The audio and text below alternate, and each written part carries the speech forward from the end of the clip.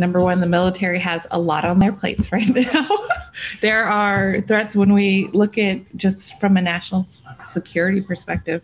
There is uh, so much going on, but also we've seen President Trump try and politicize the military with this, you know, the the parade that he wanted to have to show the military might instead of utilizing the military as it should be.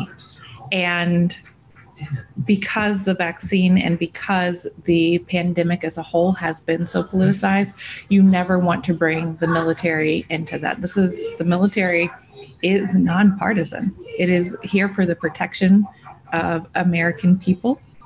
And once you start politicizing it, you're going down a very slippery slope. So I would hope that that would remain true, that they would not force that on our service members.